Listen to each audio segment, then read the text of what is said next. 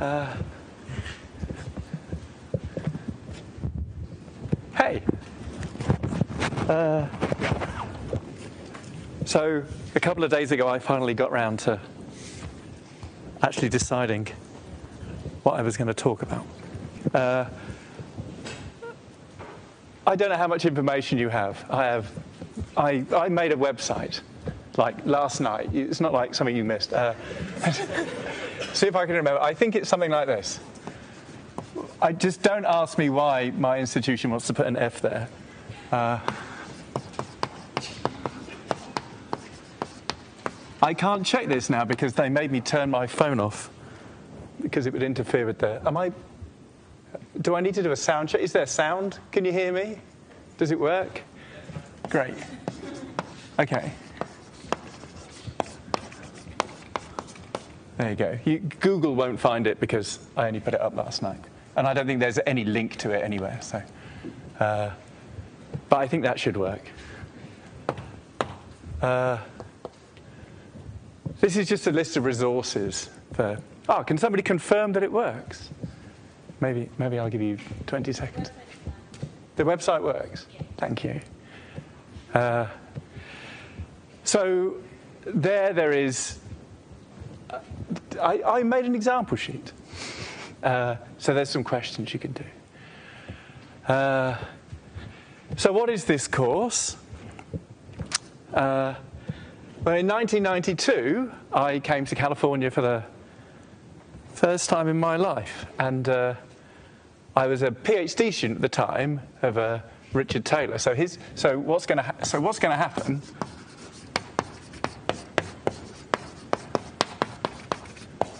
Uh, so basically, in 1992, in Caltech, Richard Taylor gave a Richard Taylor gave a course. Uh, he was some kid, right? No one had ever heard of him. He was uh, he was uh, some bright new some bright new lecturer. He just he just proved some uh, he just proved something about imaginary quadratic fields. Uh, he was a student of Wiles. Everyone had heard of Wiles. Uh, no one had heard of this guy, but he got an invitation to Caltech. I was one of his PhD students, so I came along. And he gave a really nice course. Uh, he gave a course. So it was January to April. And I had an absolute laugh. This was somehow the, the USA had just discovered kind of dance culture. I, I came out of the UK where things were going a bit stale somehow, but uh, in the USA, everyone was raving. It was great. So I spent the weekends raving in Los Angeles. And uh, weekdays trying to understand this course by Richard Taylor. Uh, and it was a really good course, and this was somehow, people weren't carrying laptops around all the time. Uh, nobody ever wrote it up. The only, I just have these handwritten notes, uh, which photocopy very poorly because I wrote them in blue ink. That's something I learned. Something I learned over the years is I don't take notes in blue ink because they don't photocopy very well. Uh, so anyway, I took some notes. They're great. They just exist in these kind of crappy note form. Uh, and often I find when PhD students would come and ask me questions later in life, they'd say, "Oh, where can I learn about this?" I'd say, "Oh, Richard Taylor's notes are really good, but they're somehow in this completely inaccessible format." Like my handwritten notes, and that was it. So he gave this great course, and I'm going to summarize bits of this course. I'm going to modernize it uh, because obviously a lot's happened in the preceding 25 years. Uh, this course was mostly about GL2, but now we know a lot more about GLN. Uh, so I'm going to, you know, so I'm going to give a, I'll give an updated version. Uh, of this course. That's what I'm going to do because uh, the, the material still, you know, in my, in my opinion anyway, the material still, uh, you know, still stands and, uh, as I say, a lot of it at the time, he, you know, he, he stated a lot of conjectures. He barely talked about GLN at all because our knowledge of GLN was fragmentary at the time. Uh, but he talked a lot about GL2. So nowadays we can talk more about GLN, but GL2 is still where many of the motivating examples come from. Uh, so this is going to be a course which to a large extent is about the group GL2. Uh, and I mean, I somehow, and I've chosen to give all the lectures myself, which is perhaps rather self centered of me. Uh, but that's where we are. So we've got 25 hours of this. I probably won't do everything he's done. I won't do every, I mean, at the end, he spent a lot of time. Uh, he spent somehow the last third of the course talking about Ribet's work on level lowering from modular forms, which was somehow incredibly important at the time, and a year later was used know, crucially by Wiles to, and, and Taylor, of course, as well, to, uh, to prove Fermat's last theorem. So I'm not going to, somehow Ribet's work, although still historically important, it's not somehow at the forefront of things anymore. And I, am going to say less about that than Taylor did. Uh, but uh, the introductory material I'm going to kind of go through. So I was a first year graduate student when I sat in this course. And I learnt a huge amount. And uh, my plan is to try and teach you a, a huge amount as well. Uh, I don't really understand the system. My, I was somehow told to name a target audience, and my target audience was basically people who are now, you know, people who are in the same position I was in, I, you know, people who are first year graduate students. But I've got no idea. My, my impression is that it's a little bit random who ends up coming. Uh, this is just an impression I get from reading Frank Calegari's blog, basically. I mean, it's not, I don't know if that's the most. if anybody wants to see my partner, uh, you can go and watch a video of her on Frank Calegari's blog uh, for some reason. Uh, but uh, anyway, she's not here. She was going to come, but then Trump won, and she said, I'm not coming. So, no, she's not. She, so we were all going to have a family holiday here, and then she decided to boycott the place. Uh, so she's currently in Japan. Uh, so, uh, anyway, that's enough about her. Uh, da, da, da. I'm just trying to think what. Oh, so before I. So I'm. I've got seven minutes before I'm supposed to start. So let me just talk about. Let's. Let's talk about. So what's what's the real plan here? So the what's the goal? Uh, the goal uh, is that I is that you will learn stuff, right?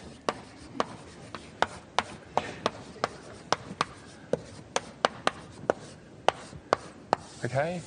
This is, this is the main goal. Uh, and we have, to, we have to work to make sure that that happens, right? So I'm to I'm going to attempt to make you learn stuff by presenting, uh, by presenting stuff at hopefully a reasonable rate. And then you, in turn, have to make sure that you're learning stuff by either engaging with the material or, if the material is much too easy for you, uh, engaging with something else. Uh, for example, uh, here's, here's, ways you could learn. Here, here's examples of ways you can learn. Ways you can learn. Uh, so, firstly, you can engage with the material.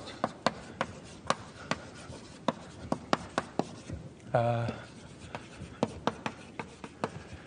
so, as I say, I. I'm kind of writing it on the fly based on this course by Taylor. I put Taylor's note. This website contains a rather poor scan of my handwritten notes of this course. So feel free, if you want to see what's coming up next, uh, feel free to look at that course. And if you can face reading my, uh, my handwriting, uh, then great, you can read ahead. alternative, you want to sit and, uh, if you want to sit and type this stuff up, it's, I mean, I kind of feel that there's, a, there's almost a gap in the market for this stuff. This is a. This is material. The, the, reason I'm giving this course is because I find it difficult to point to a book and say, this book is quite a good place to learn this material. There's somehow a, there's a wide array of things that Taylor explained very well, and uh, it's difficult to find one place where it's all covered. And I kind of, every now and then, I kind of entertain the idea of maybe writing up myself and writing some book. Uh, but I, am just somehow busy. I have three kids. I have a lot to do. Uh, so you can engage with material. So you can attempt to understand it, or you could even, you, I mean, I just don't really know, right? You could like write it up, right? Write LaTeX. Uh, you know, write a LaTeX, whatever. Type the thing up. I have no idea whether people are interested in doing that. As I say, I think people would be interested to read it if you did. A huge amount of, I don't quite understand the system really, but uh, I had a lot of emails from people saying, I wanted to be, I wanted to come to your course, but I couldn't come for various technical reasons. Uh, so there's a lot of people that are interested to know what. I, I guess things are going to get videoed, but what would you rather have? 25 hours of video or a kind of a 50-page LaTeX document? I mean, manifestly, people would rather have the 50-page LaTeX document. So if anyone wants to write this up, you should probably get to know each other and somehow interact with each other in some way that kids do. I mean, my my students at my university, they're all somehow they all create some in, in, within weeks. All the students are on some Facebook group and are talking to each other about the lecture. None of the lecturers are in this, but people are passing ideas around or solutions to problem sheet.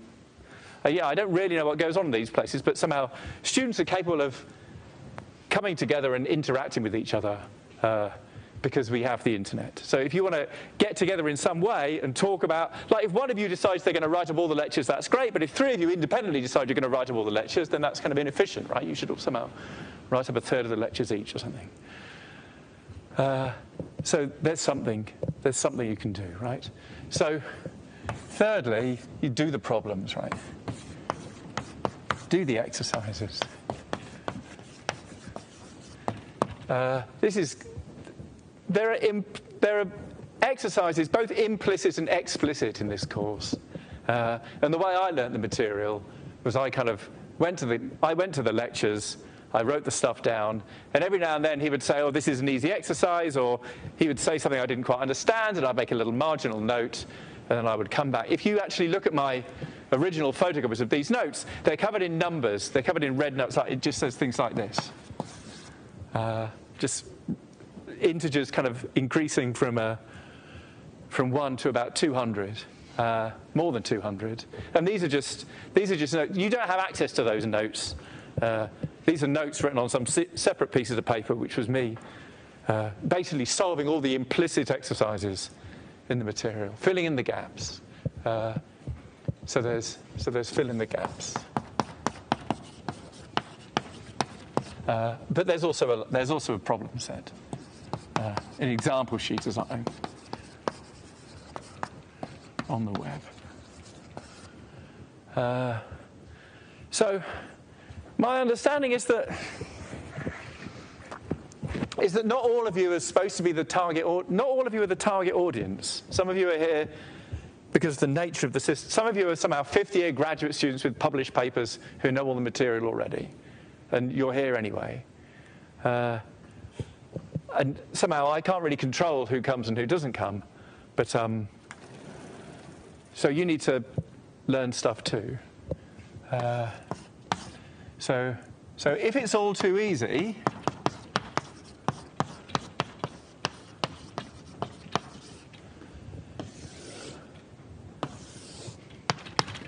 then you still need to find something to do so you get to learn stuff. Uh, so I'm not. I'm going to give the lectures, but there's there's three other people here with me.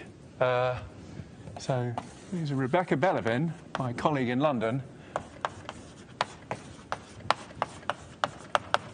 uh, who I guess is an expert in p-adic Hodge theory. I mean, and other things. Uh, there's Jackie Lang.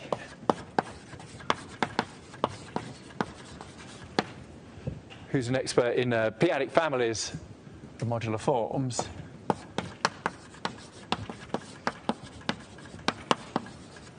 And, um, and there's Ila Varma. Uh, she's an expert in lots of things, but in particular, uh, I guess she would know things about kind of local and global Langlands. Uh, I mean, all of these people, all of these people get dot dot dots because they're all they're all good at lots of things. Uh, if if the material is too easy for you, I would find one of these people and just engage with them instead. Because I'm sure between them they know a vast amount more than you. about some stuff anyway. Uh, so go and talk to them.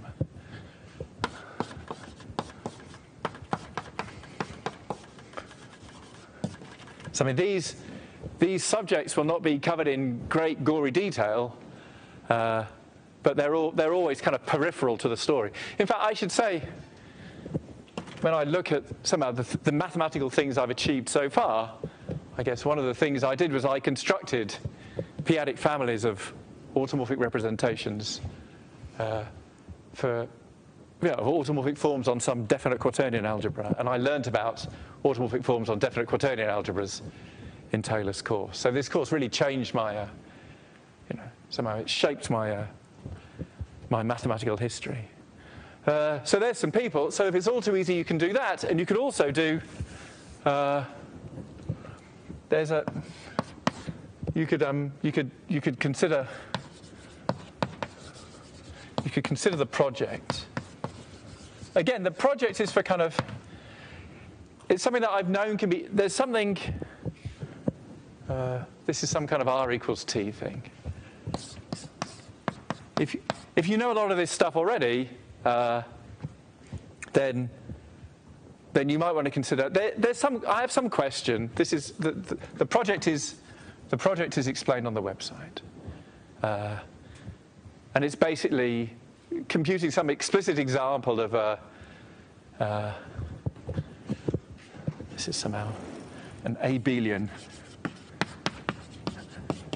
p-adic Langlands. I mean, p-adic Langlands correspondence.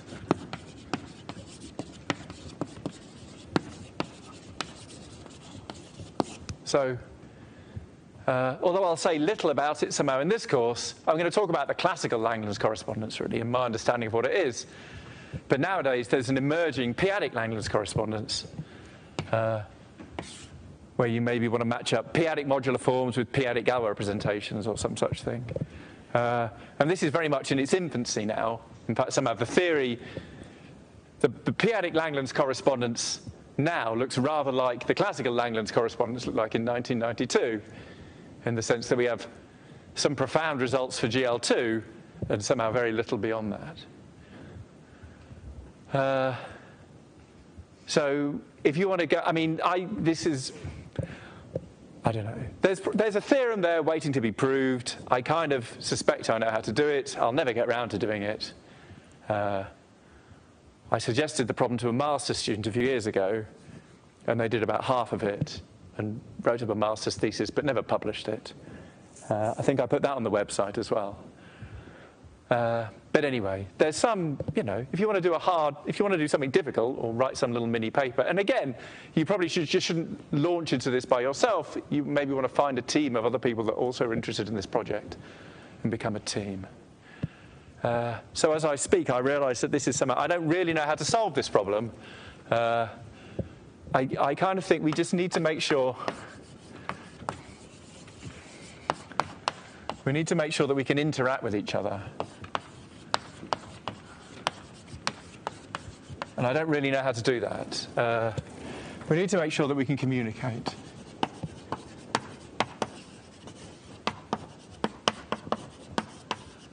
uh, with each other. I mean, it's easy for me to communicate with you because I'm doing it right now. It's easy for you to communicate with me because you can just come and talk to me. But somehow, I think you probably, we probably need to figure out some way that you can talk to each other.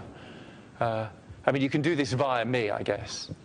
Uh, but I kind of feel that there are better ways of doing it. Know, maybe via Facebook is a better way. I just don't. I know nothing about Facebook.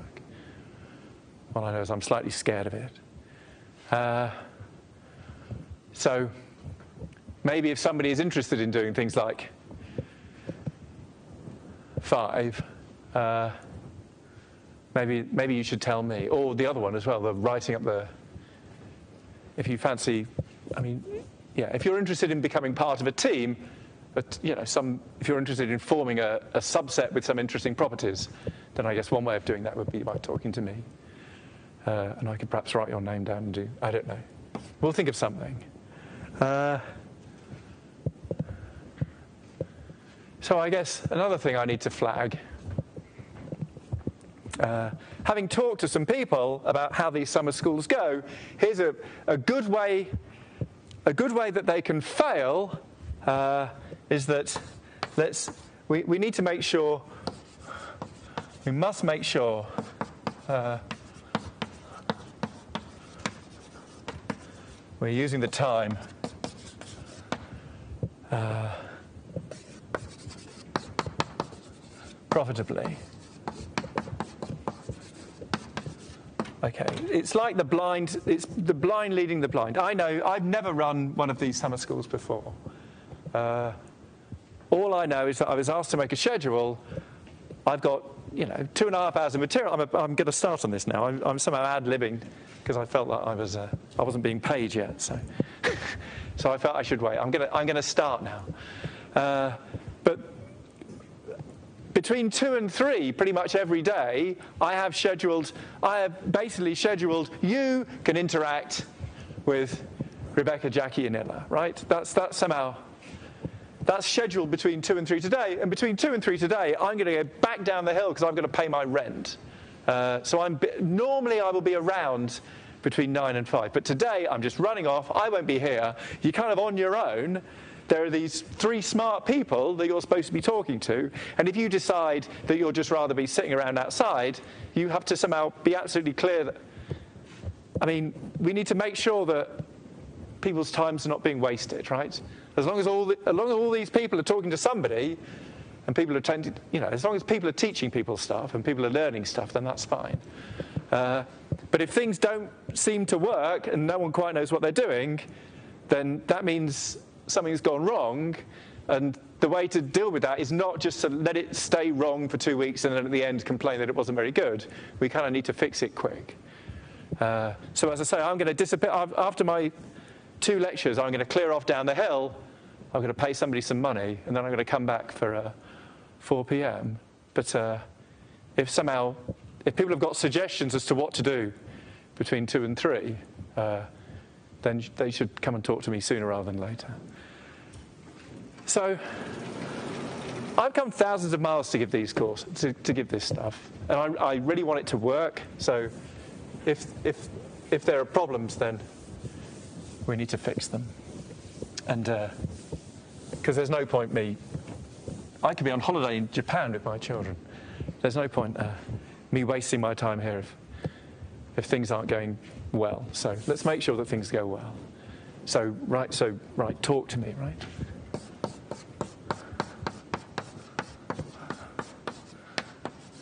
You can talk to me about anything. Uh, okay, I'm going to try and teach you some stuff now.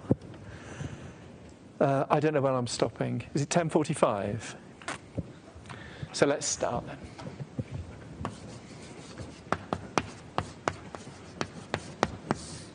Uh, okay, there's a clock back there. So I'm going to speak for an hour and five minutes, then we'll have a break. So I guess our story begins uh, with the following uh, with the following observation. So the story begins with a Dirichlet character uh, with some integer n, an integer at least one, so some people write, I, am terrified of this. I, I don't like that symbol at all because it's not clear to me whether zero is in it or not. So Richard Taylor, a man from whom I've learned a lot, pointed out that if you use this, then everyone can guess what that means. So n is an integer at least one, uh, and chi is a Dirichlet character. Chi from z mod nz to z mod nz star it was in Berkeley where I learned to say Z. I, should, I was a postdoc here for two, for two years down the hill. Had a really good time. Uh, spent a lot of time hanging out with Robert Coleman, now sadly no longer with us. Uh, an incredible guy. So, story begins with an integer n at least one, and chi Dirichlet character. Uh,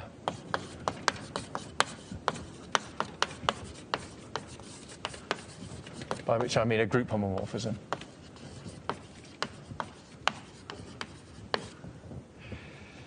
Uh,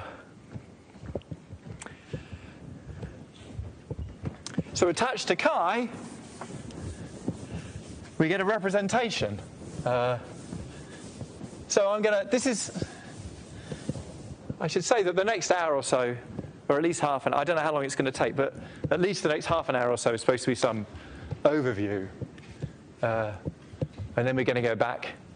We're going to go back, we're going to go back later and uh, do some definitions more carefully and uh, go over things more carefully. So, but now we're going to have an overview. So, chi is going to be a Dirichlet character, then, uh, then attached to chi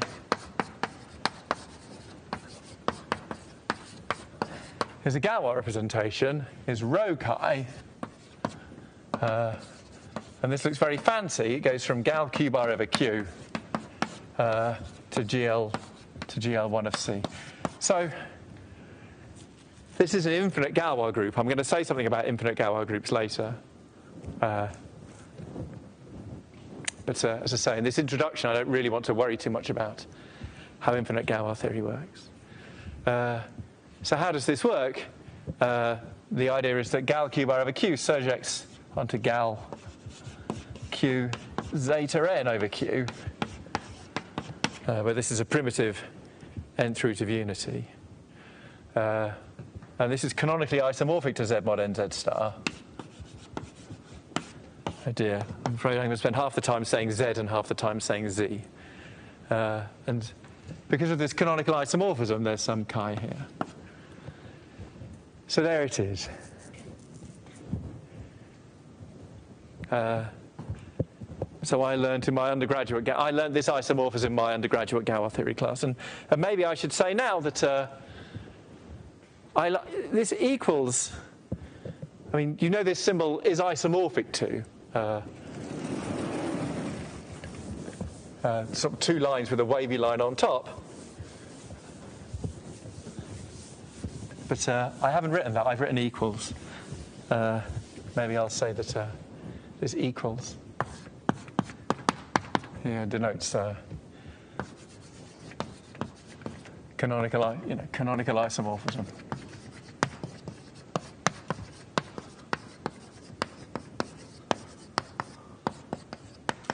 In this context. Uh, so you see, what's happening here is that uh, uh, I, I'm going to send some n here to, this is where the work is. It's not so clear. Given a random integer prime to capital N, uh,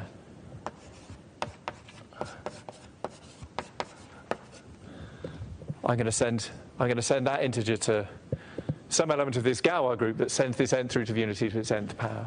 But one has to check that such a thing exists and it's well defined and it's independent of all choices and blah blah blah. So there's some exercises. Uh, so these things are not just isomorphic, they're canonically isomorphic. And so that means attached to chi is this canonical rho chi. Uh, so that's that. And somehow that goes back to the arc. Uh, and then the next step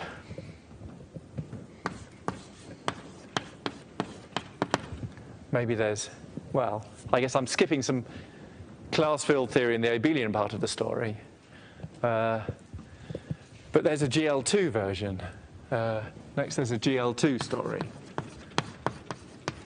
And the, GL, the GL2 variant of this looks rather different. So it's rather funny. So it looks like this. Let's say, uh, let's say I've got a modular form. So again, I'll, later on I'll briefly whiz through the definitions of modular forms. I'll tell you the things you need to know. Uh, let's say f is a cuspidal modular form. Oops.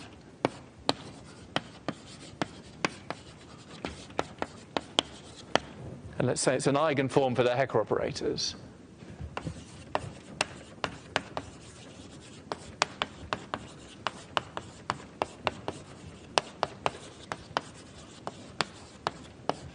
TP, that's what these things are called. Uh, so F is a modular form, and TP is some map from the space of modular forms to itself, and F is going to be an eigen, an eigenvector for all of these TPs. Uh, so let's say, uh, let's say, let's say TP of F is lambda P of F, where lambda P the theory of modular forms is some complex analytic theory, right? Uh, lambda p is going to be some complex number. Uh, then it turns out, then the field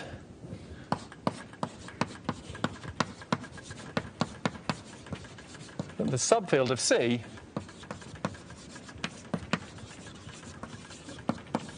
generated by all these eigenvalues generated by the lambda p. So, on the face of it, this looks like some arbitrary, possibly infinitely generated subfield. Uh, but it turns out that this is a number field.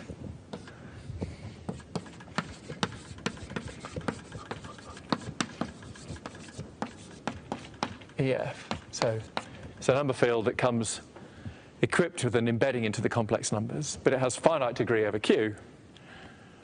Uh,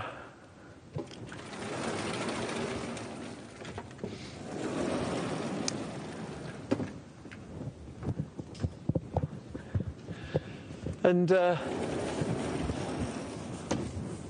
after an observation of Serre, uh, in the in the 60s, uh, there was some intensive work by Deligne uh, using the whole, as then modern machinery of algebraic geometry. So, uh, so a theorem of Deligne. So it turns out if, uh, let's say, if let's choose a, if L is a prime number,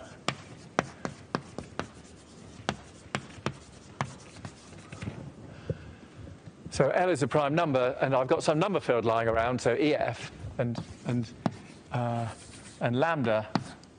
And lambda dividing L is a place of EF as a prime of EF, which I mean, of course, a non zero prime ideal of the ring of integers of EF. Uh, then, following a suggestion of Serre,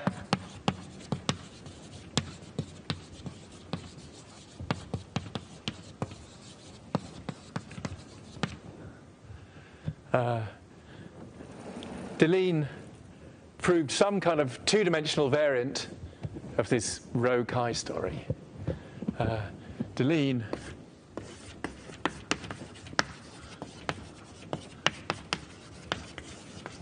constructed rho f, and it's going to go from this Galois group of Gal Q bar over Q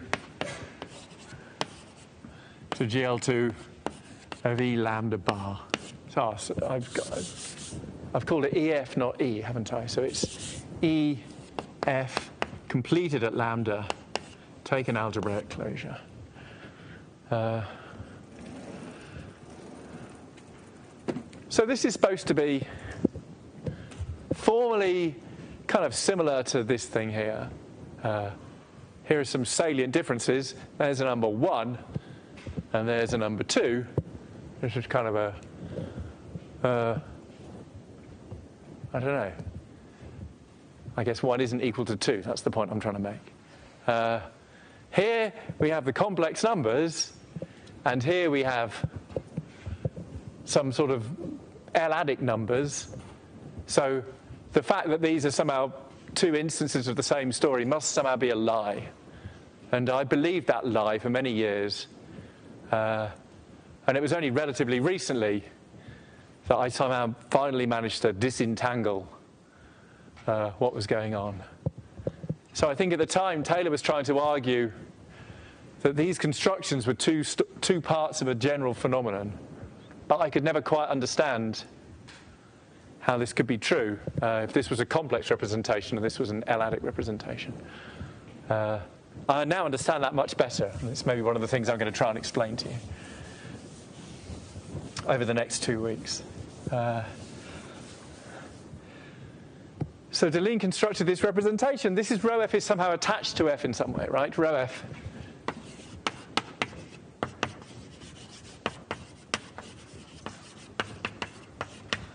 In some way. Uh, well, let me say a little bit more about this then. So let me say, let me say more about this. Uh, so as I say, I'm going to whiz through the theory of modular forms kind of more carefully later, but uh, if I have some modular form, uh, if I've got some modular form, which is an eigenform for these Hecke operators, uh, I guess modular forms, so f is some modular form.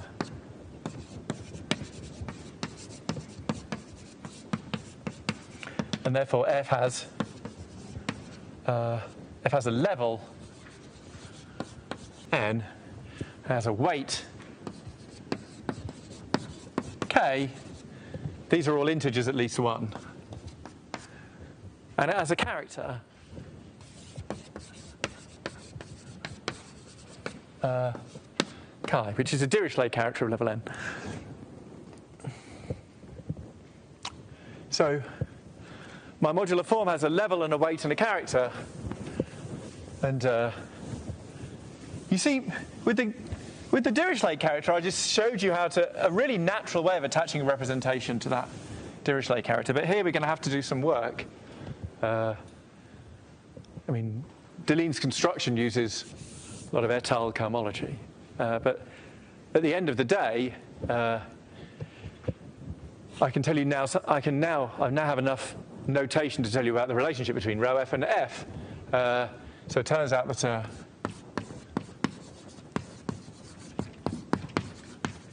that rho f is unramified. As I say, I'll come back to all this later and explain things more carefully, but this is unramified outside n times L. So n, the uh, level of the form, and L, the prime number. We're doing L-adic representations. Uh, you see that L, there was no analog of L in the GL1 story, so you know there's something slightly fishy going on. Uh, and if P is prime, if P is prime, P doesn't divide n times L.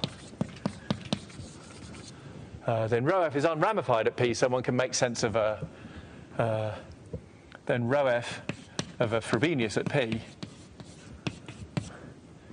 So this is now a 2 by 2 matrix, uh, and I'll tell you its characteristic polynomial has char poly uh, x squared minus lambda px plus p to the k minus 1 times chi of p. Chi of p is okay. P doesn't divide n times L, so it doesn't divide n, so chi of p is non-zero. Uh, so there you go. Uh, so I've told you what the, uh, I've told you the, basically, I've told you the trace of this representation, lambda p on a Frobenius element at p, and it turns out that these, uh, these Frobenius elements or Frobenius conjugacy classes are dense in this Galois. I mean, I mean, there's the, the, by the Chebotarev density, let me just say this, by Chebotarev,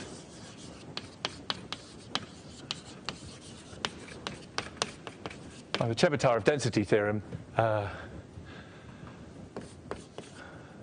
uh, there's at most one rho f with this property.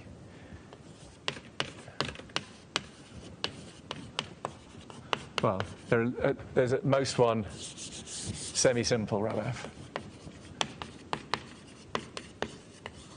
with this property.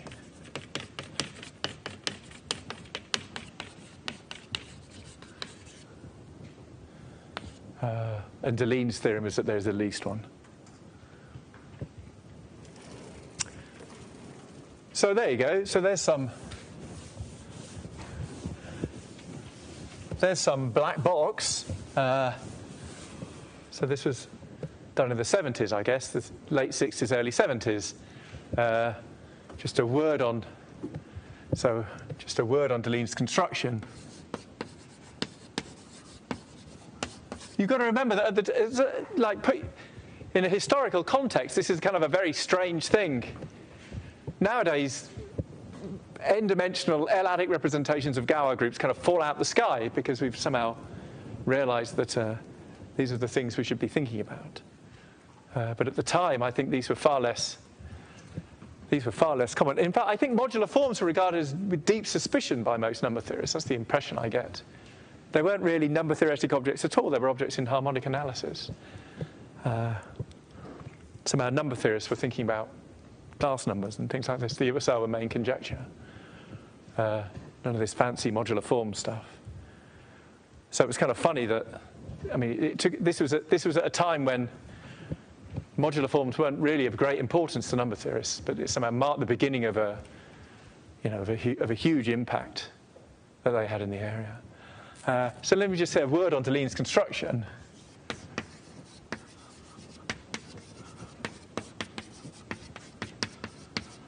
Uh, how does he find a two-dimensional Galois represent a two-dimensional L-adic representation of a Galois group? Uh, Deligne Deligne finds this Galois representation rho f. Uh, well, Deligne constructs rho f using something which was at the time considered a very fancy new thing called étale cohomology.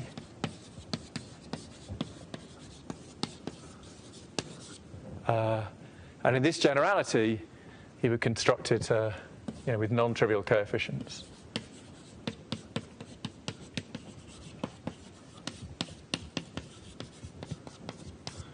Uh, so nowadays one would wonder whether this sort of thing comes from a motive, and uh, étale cohomology gives you motives, but you would normally take étale cohomology with trivial coefficients. Uh, so there's some issue here about constructing étale cohomology. You have some non-trivial analytic sheaf uh, on the modular curve, uh, and then but somehow Deligne also manages to realize, and then uh, and then using étale cohomology trivial coefficients on some appropriate power uh, of some universal elliptic curve. So Deligne kind of got halfway to, a, to proving that these were really motivic, for those of you that know what motives are. And then later on, Tony Scholl proved these things really were motivic. Uh, I should probably also say, so uh, giving this sketch has reminded me that actually this only works for k at least 2. Uh, so this is all, this is all, this is all for k at least 2. For k is 1. That historically had to wait for a few more years. Uh, is done by uh, Deligne and Serre. I think that was 1974. I can't remember. Might be a bit later. So Using some uh, then rather fancy mathematics, uh, Deligne attached a two-dimensional representation to a modular form. And the point I'm trying to argue that formally that's a bit like attaching a one-dimensional representation to a Dirichlet character. Uh,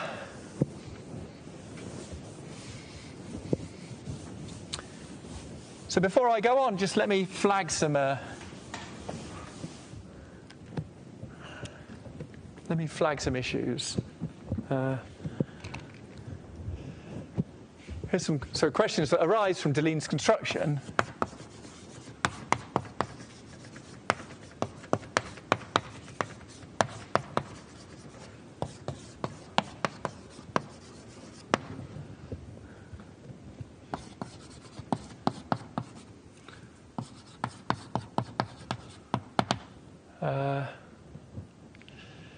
So given this modular form, we have this two-dimensional representation of a Galois group that's, that's somehow fallen out of the sky.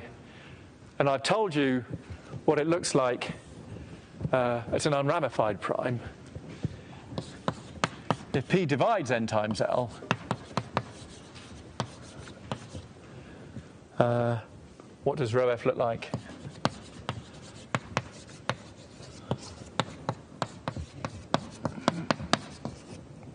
Locally at P. Uh, so this has some formal meaning that uh, we're going to talk about later. This global Galois group contains a local Galois group. The absolute Galois group of QP is embedded in this thing canonically up to some conjugation. And one could restrict our local uh, we, one could restrict our global Galois representation to this local situation and ask what the corresponding local Galois representation is. And you see, if you, if you know this stuff already, what you'll know is what I've written here, uh, I've told you that the local Galois representation, if P doesn't divide n times L, the local Galois representation is unramified. And I've told you the char poly of Frobenius, so I've basically told you essentially the complete local behavior of this Galois representation for P a good prime. There's a semi-simplicity issue, which I think is still unresolved, uh, because we can't prove the Tate conjecture. But modulo that, you see, if I tell you the characteristic polynomial of a matrix, I haven't quite told you the matrix up to conjugation, because if it's got repeated eigenvalues, there's some semi-simplicity that one has to worry about. Uh, I think, I think might still be unresolved. But anyway, uh, if P does divide n times L, then the Galois representation will typically be ramified, uh, and we can't get away with we can't get away with talking about rho f of Frob P. So this is what this is beginning to become understood now. What does rho look like locally at P? So it turns out there's two different there's two different answers. So uh, case one, uh, P divides n uh, P not equal to L. Okay. Uh, then the answer is given by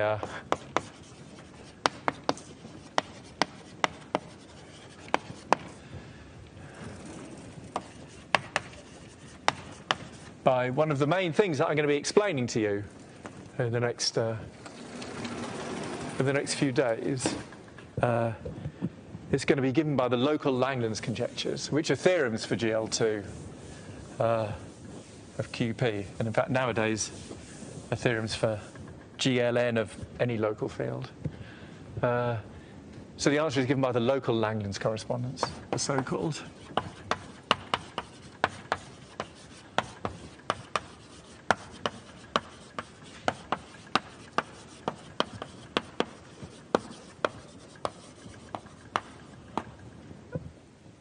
So the local Langlands correspondence, if you pick up some book, it's some assertion about uh, relating possibly infinite dimensional representations of groups like GLN of QP uh, to things called Weil-Deligne representations, uh, which are representations of things that are a bit like Galois groups but not quite Galois groups, and there's some funny capital N that is quite mysterious the first time you read it.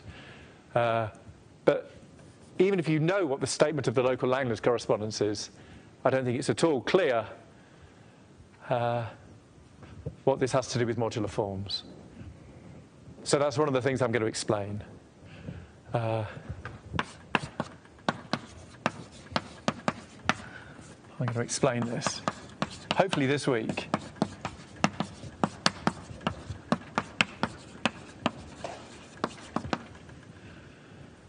Uh, so there's case one, and then case two is that P equals L. P equals L. And now we have a p-adic representation of a p-adic group. Well, a p-adic representation of a p-adic Galois group. Uh, so then the story, uh, then we should use some kind of p-adic local Langlands correspondence.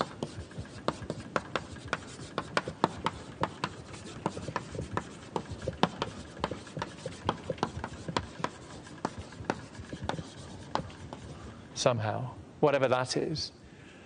Uh, and so it turns out that this is kind of the almost the boundary of our knowledge, in some sense, I guess. Wow. I guess it depends on how you interpret what I've written, but let me just make a comment that the p-adic local Langlands correspondence is a theorem for GL2 of QP but it's not a theorem for GL3 or GLN yet. And in fact, in some sense, we don't even know what the question is. Uh, so there we go. So if you're interested in that, you can ask Rebecca. She'll know something. So there's that. Uh, and in Taylor's original course, uh, he then said something about a variant and then went on to other things. I guess maybe I'll just say well, yeah, yeah, maybe I will mention this. So there's an easier variant, uh, easier variant.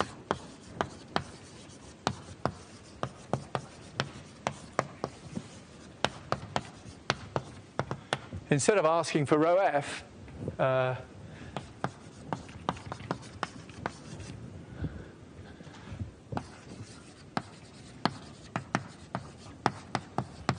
rho f, uh, we could instead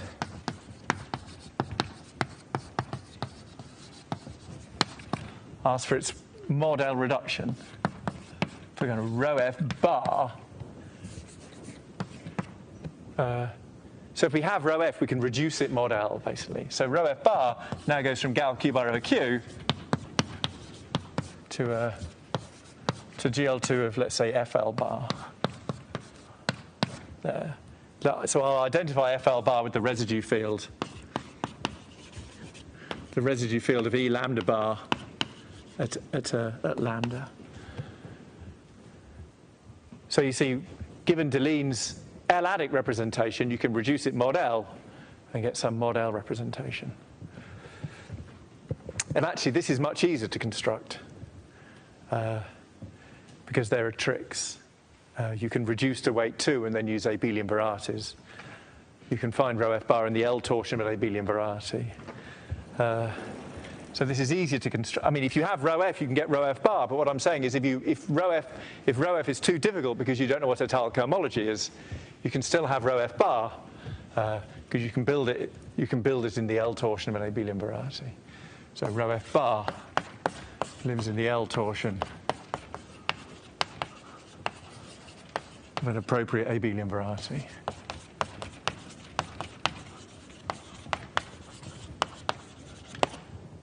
So, as I say, this is supposed to be some overview of uh, where this course is going. So, when I start actually teaching the course properly, uh, we're going to have more details, and I'm not going to be throwing around fancy words without let or hindrance. Uh, so there you go. There's rho f and there's rho f bar. Uh, so now let me tell you some things that Taylor didn't say, because he hadn't proved them yet. Uh, so the question here, the question Taylor asked at the time, uh, so a one and two uh, are rho chi and rho f, somehow special cases of a general story.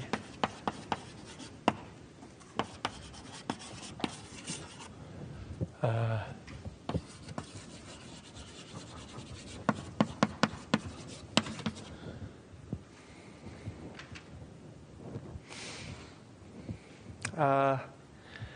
and the, of course, the answer is yeah, kind of, but um, it's somehow quite difficult to imagine at the time. It's somehow quite difficult to imagine if you're me, for example, in 1992, then you know the definition of a Dirichlet character, and you know the definition of a modular form, and they look completely different. It's very difficult to imagine uh, how to unify them.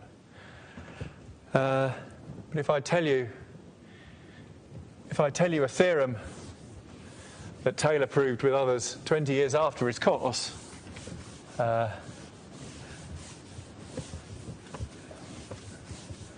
then we'll, we'll see the clue. So here's a Here's the theorem of Michael Harris, Kai Wen Lan, Richard Taylor, and Jack Thorne. From 2013. Uh, and I guess also shortly afterwards, it was a, I think the results were reproved by Scholze using some of this uh, perfectoid magic, about which I'm unfortunately going to say very little in this course. Uh, they proved the following thing. So let me, I mean, I'm just going to have to get very technical now. So let's, now let's, so instead of the rational numbers, I'm going to let E be some, uh, E be a totally real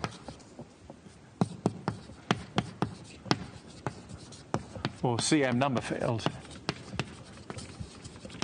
So a totally real number field is one such that all maps from E to the complexes have image in the reals.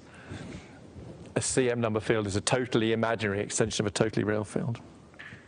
Uh, and pi, a cuspidal automorphic representation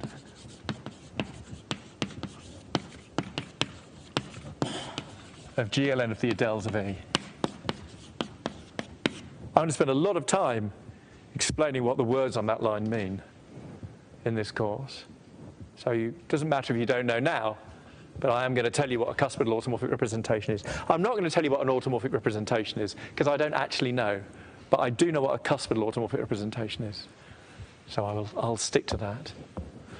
Uh, as an exercise, you can try and figure out what an automorphic representation is, and then you can tell me. That would be great. Uh, so, so assume that uh, assume that uh, pi infinity is cohomological.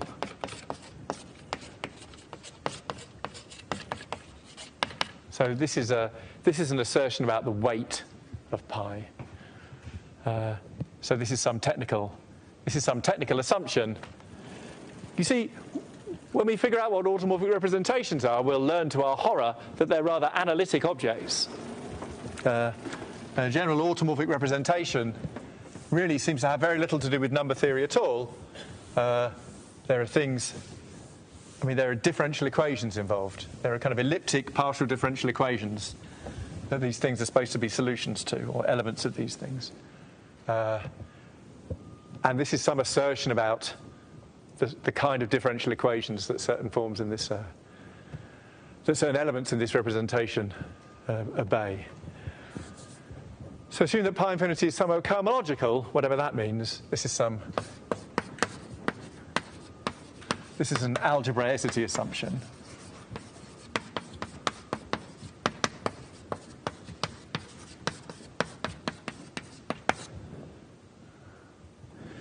Uh, but it's quite a strong one. It's a strong, if you like. I don't know. This says something. This is some assertion about differential equations. Uh,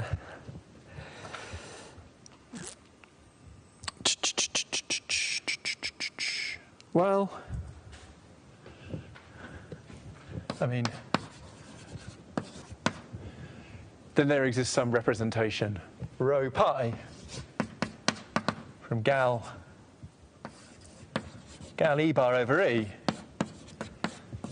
to uh, gln of ql bar. Uh, you see, this is an n now. We've gone from 1 to 2 to general n. There's just a rho pi from gal e bar over e to gln of ql bar attached to pi in some way.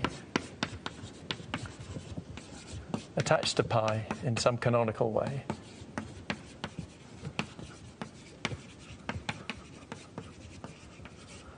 Uh, well, so I mean, this is the analog of uh, of giving the char poly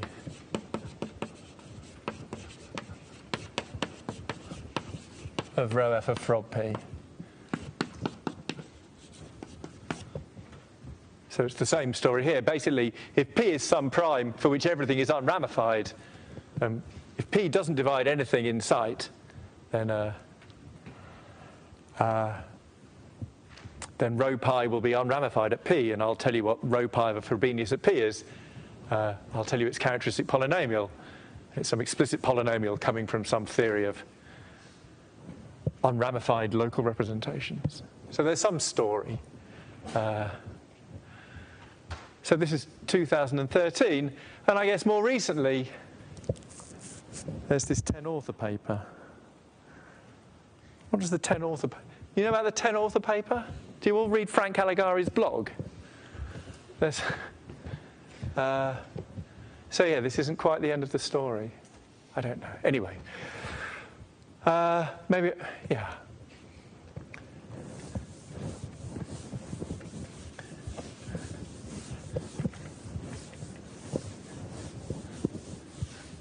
I don't know, maybe, actually, maybe. For, actually, maybe the 10 author paper is about something else. Uh, so, anyway, so what have we just seen? So, as I say, we'll, I'll, maybe, I'll maybe explain a precise statement of this theorem later. So, more details later.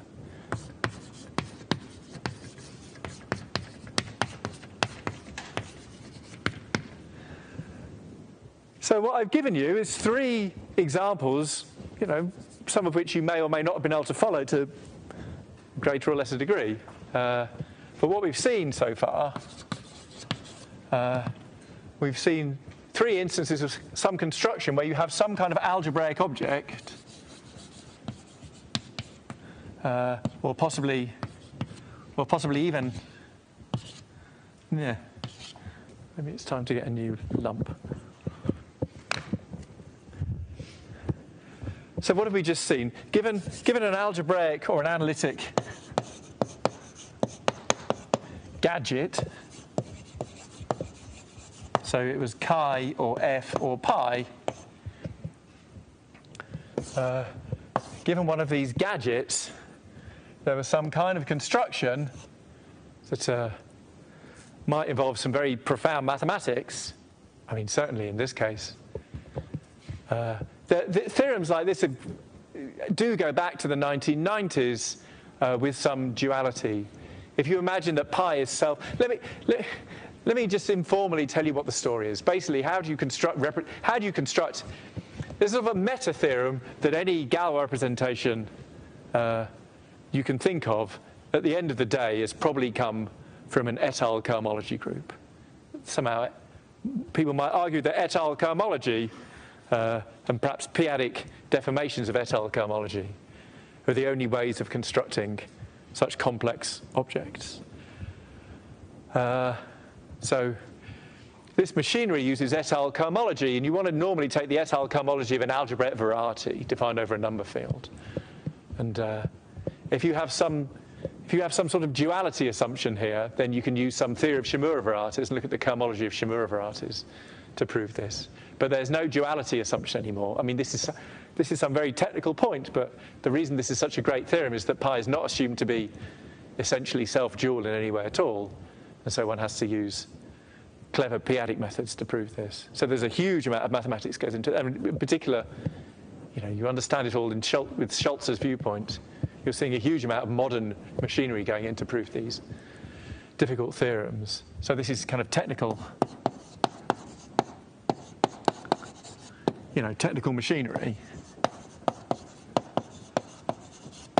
Uh, and then we land here representations of Galois groups.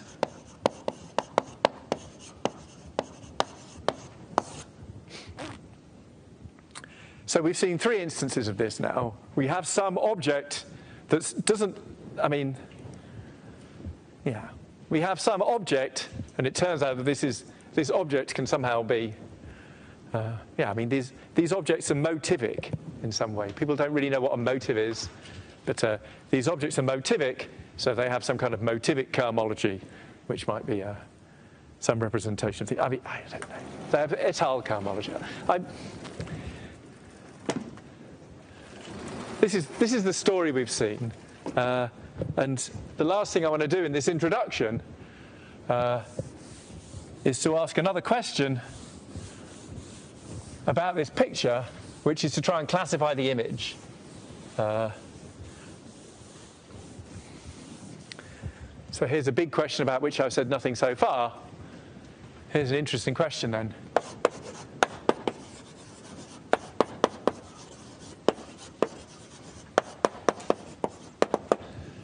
Uh, can we classify the image?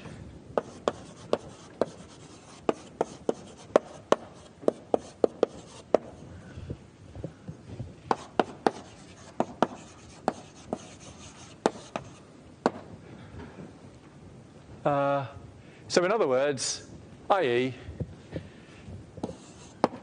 so the way I've presented the material so far, the fundamental object we started with was a Dirichlet character or a modular form or a cuspidal automorphic representation.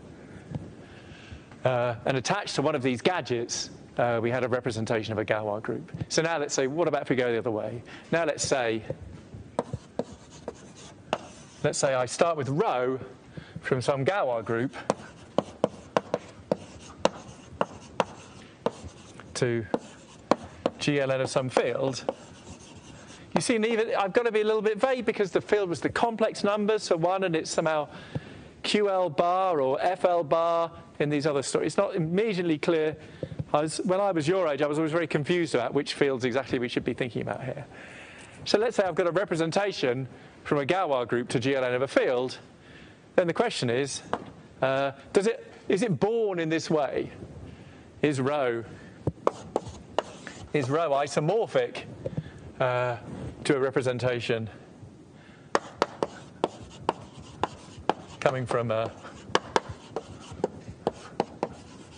coming from the left-hand side, you know, from coming from algebra or whatever, uh, an algebraic or analytic gadget.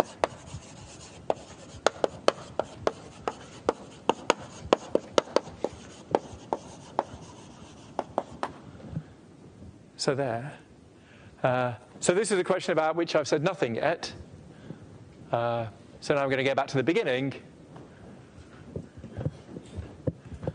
And we're going to and we're going to see if we can answer this question in any case.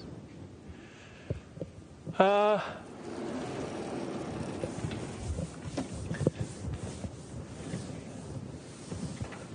so let's start with the one-dimensional story.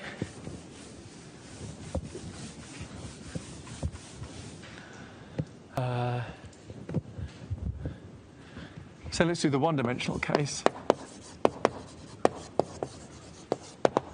Uh,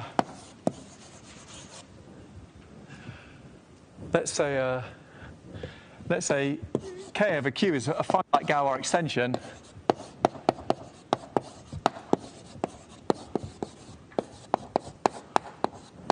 And let's say I've got a one-dimensional representation of it. And rho goes from gal k over q this is now a finite group. And let's say I've got a one-dimensional representation of this. GL1 of C. Uh, so the question is, is when can I expect that rho uh, to be isomorphic to uh, a rho chi with chi a Dirichlet character? So here's a quick, you know, is rho is rho isomorphic to rho chi? for Chi Dirichlet character.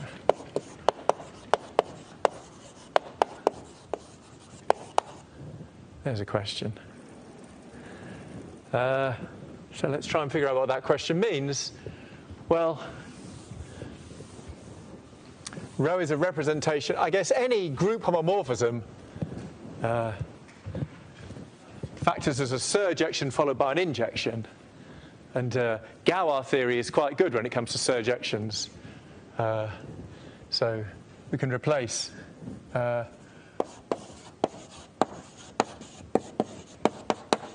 by replacing K by a subfield if necessary.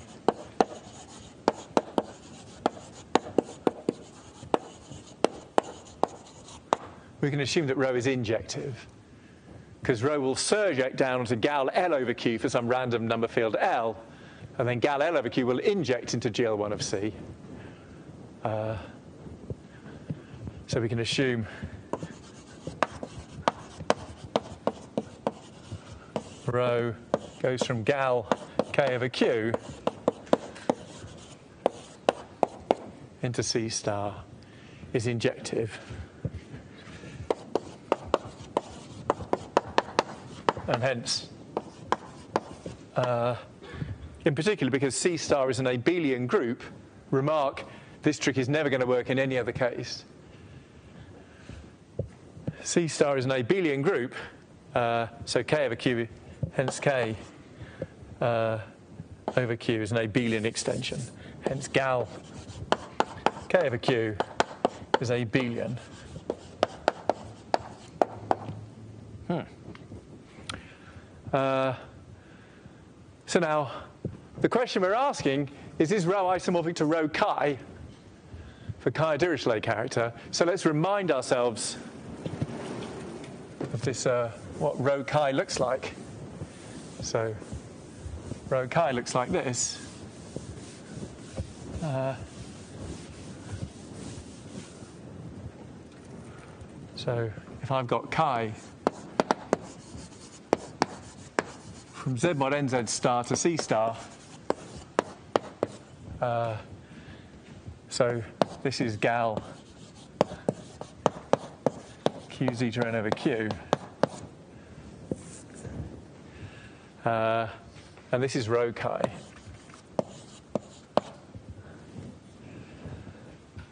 And so we can do the same trick with rho chi. Uh, so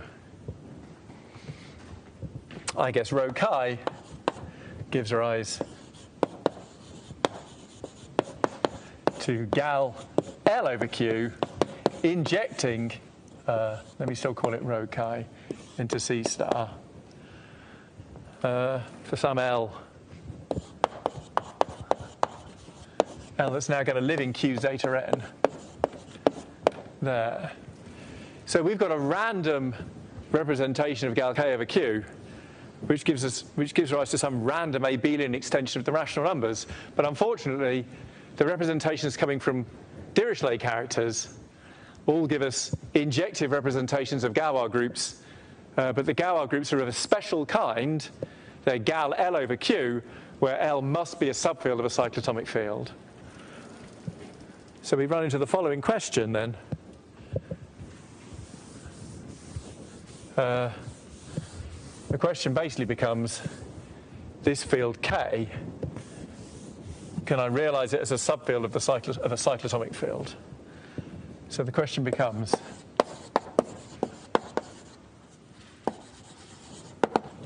uh, it's not representation theoretic at all now.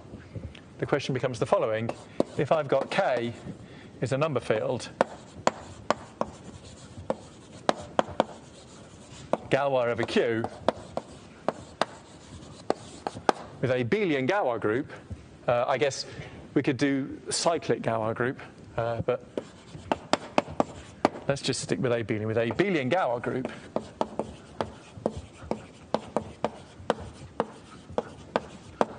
uh, does there exist some natural number n such that such that k lives in q zeta n? You see, what's clear is that the converse is true, right? If I've got any subfield of Q zeta n, uh, then it's Galois over Q, and the Galois group is abelian. Uh, but conversely, if I have an abelian Galois group, uh, is that explained by the fact that my number field is a subfield of Q zeta n? So this is true, uh, but this is some work, right? I'm just trying to highlight where the work is. And what we see here uh, is that this, this must be some work because it has a name, right? So the answer is yes. That's called the Kronecker-Weber theorem, right?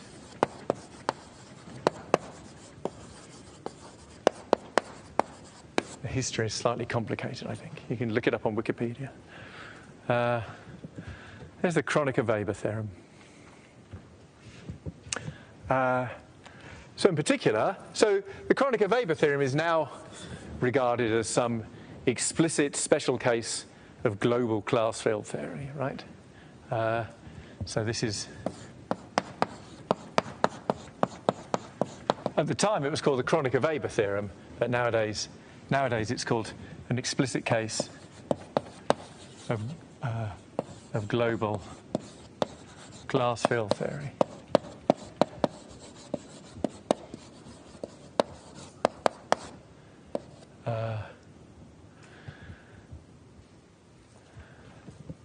So we've classified the image. Is it still there? Yeah, look, maybe. Yeah. Can we classify the image? So let's say I've got a one-dimensional representation uh, from gal q over q to GL one of the complexes. Is it isomorphic to the representation coming from chi for some chi? The answer is always yes. So therefore, for all for all rho, gal q over q, whatever, to uh, to GL one of C, continue, I mean, continuous. This is just some crazy way of saying that there's an image of finite order. Uh, there exists some chi from z mod nz star to c star such that rho is isomorphic to rho of chi. So as I say, this is, we didn't get this for free, we got this from the Kronecker-Weber theorem. It's a reinterpretation of the Kronecker-Weber theorem. So that's the answer for GL1. Uh, the answer is the image is everything and the proof is class field theory. So for GL2, the story is much more interesting. Uh, so what about the GL2 case? Uh, so let me tell you some fancy words. Uh, so here's the GL2 story. If I have some modular form, if f is a cuspidal modular eigenform as before, as before,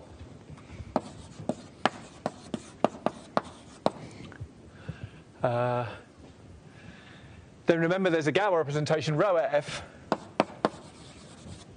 Then f has the following properties.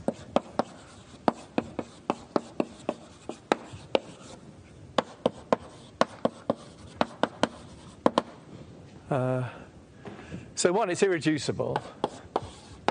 It's absolutely, absolutely irreducible.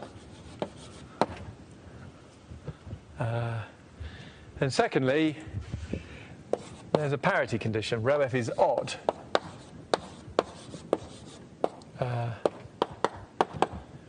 So I've been throwing around these kind of crazy infinite Galois groups like there's no tomorrow, and I can't really think of a single element of these Galois groups in some sense apart from complex conjugation. Uh, if I embed Q bar into the complexes, then complex conjugation is an automorphism of Q bar. Uh, and it has order 2, so rho f is odd, i.e., the determinant of rho f of complex conjugation. This is an element of order 2 in this Galois group. Uh, so determinant of rho f is a one-dimensional representation. What does it do to an element of order 2? It will either send it to plus 1 or minus 1. So odd means it sends it to minus 1. So this, this representation I mentioned earlier, coming from this profound theorem of Deligne, Uh, I guess it was Ribet that proved rho f was absolutely irreducible. Uh, the guy down the hill. So it's absolutely irreducible. It's odd, which means determinant of rho of complex conjugation is minus 1. And there's some other things as well. Uh, and thirdly, rho f is, uh, I don't know what to call it. People call it geometric, which is a terrible name for it. Uh,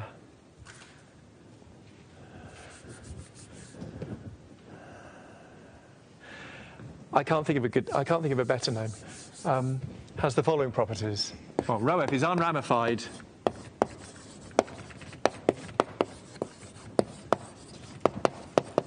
Outside a finite set of primes.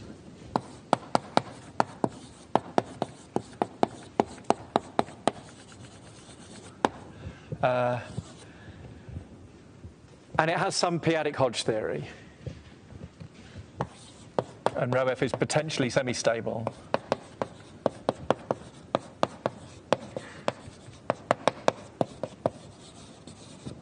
At P, sorry, at, at L. Uh, uh, whatever. So rho f is a maybe I should say rho f is now going from gal q bar over q to GL2 of, let's just call it QL bar. So this is something that I won't be explaining in this course. This is a, this is a condition in p-adic Hodge theory.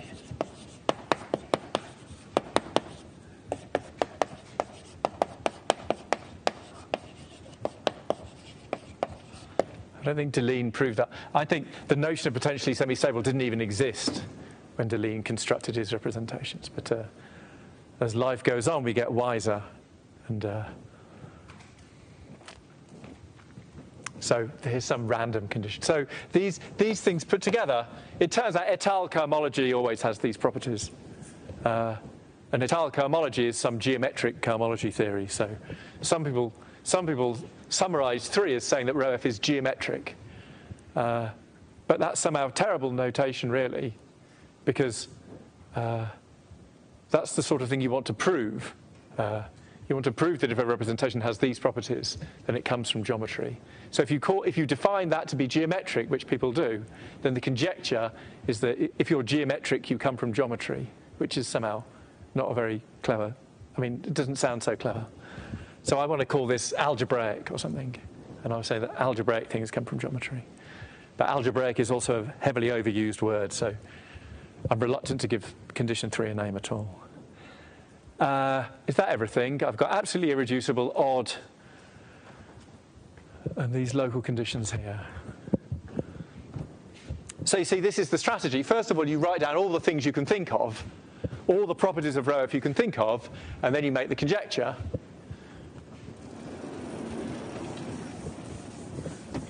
Uh,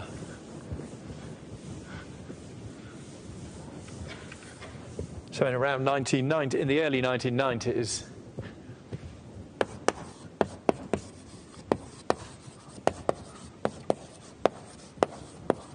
Fontaine and Mazur asked if this was a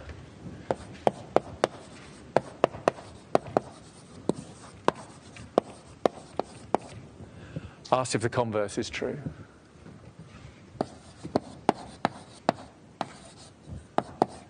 Asked if rho uh, whatever, from gal q bar over q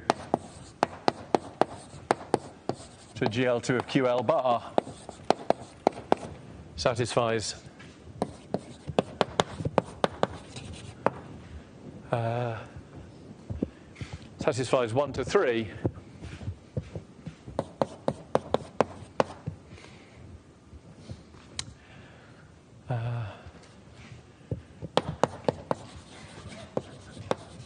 then was rho isomorphic to rho f, some f. And in fact, there were variants of this as well. Uh, like in many cases, uh, they, were, they were keen to even drop condition two and see if they could uh, deduce it from the other conditions. So that became known as the Fontaine-Mazur conjecture, and there's also a Fontaine-Mazur conjecture for GLN. Uh, but uh, this is kind of a very explicit thing.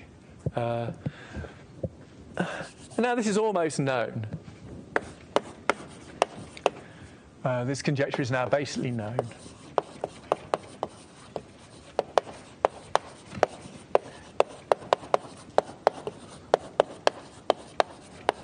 Uh, I don't quite know what's going on here with this story because the, I knew the references I have for this one of them is not published, and I don't know why. Does anyone, do you know any gossip? Why is Emerton's paper from 2011 still a preprint? Uh, I wonder if he's decided not to publish. Two pe- basically, Emerton and Kissin proved essentially all of this independently around five years ago. Uh, so, so this conjecture is basically known due to uh, uh, by work of of Emerton and Kissin. So uh, Kissin, this is published. Local global. Uh, no, sorry, the Fontaine-Mazur conjecture for GL2.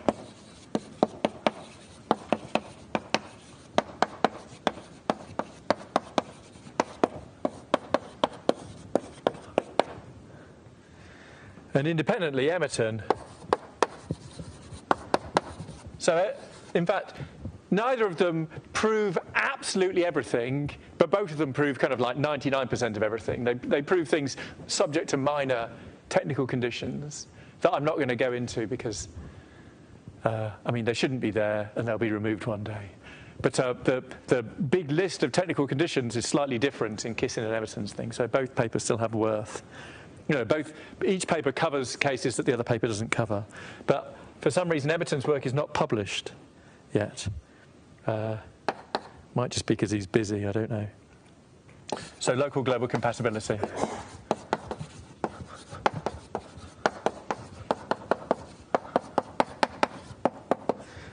Uh, in the P-adic Langlands program. In the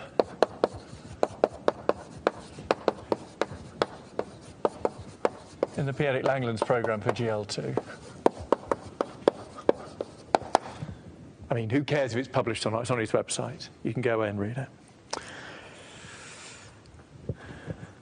Uh, so these are these are all sort of around, I guess, around both both around 2012 or so. I forget when.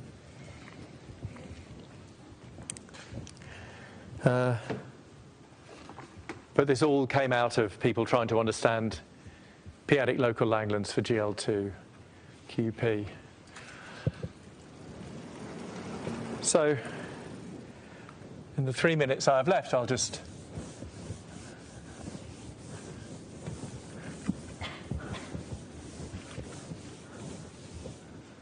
Uh, well, May, I'll tell you what I'll do. I'll do in the GLN case. Uh, I'm still talking about I'm talking about given rho, does it come from F? So the G- does does the Harris-Lamb uh, so does rho from gal from whatever gal F bar over F to well I called it E didn't I gal E bar over E to GLN of QL bar. Uh, the GLN case, the question is, is rho plus, you know, plus some assumptions Uh, does that imply that rho is isomorphic to rho pi, as in as in Harris, Lan, Taylor, Thorne? uh, and I guess maybe the state of the art here is maybe BLGGT. So Barnet, Lamb. Uh, BLGGT, Geraghty, no, G, Geraghty Taylor. Geraghty, now works for Facebook, I believe. Uh, Barnet Lamb, G, Geraghty Taylor. Uh, so there's maybe the state of the art here. Well, actually, that's not true. Uh, so they prove something non trivial. But I, I'm not going to state what they do because they have to. There's. They could. I mean, they have to assume some very technical p-adic Hodge theory stuff that I don't really want to get into at all. So there's the state of the art. Prove this in many cases. So prove this. Prove this in many cases. Uh, and I guess more generally, uh, we have the 10 author paper. So see also the 10 author paper. So see also.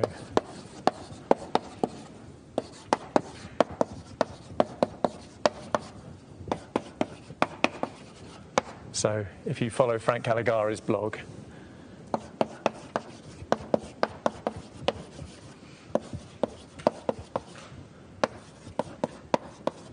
there, uh, then you can see pretty much everything that uh, 99% of people can access about the 10 author paper. So the, I guess Barnet, Lamb, G, Geraghty, Taylor, E is a totally real field, and this paper is a CM field. Uh, so there's no preprint yet. There's just rumors on a blog. so there you go. so it got to this when someone is telling you about blog rumors in a math talk. Uh, but it, basically, the rumor is that in many cases the answer is yes. Uh, so I have a little break now, but uh, this is somehow, you know, the next talk won't be anything like this, right? This is some kind of overview of the kind of questions that we'll be interested in, and uh, I'm going to say I'm going to say much more details about things, in particular the GL2 case, over the next two weeks. Uh, I'm going to get a coffee. Please feel free to talk to me. Uh, I'm not remotely scary. and I'll see you in 15 minutes.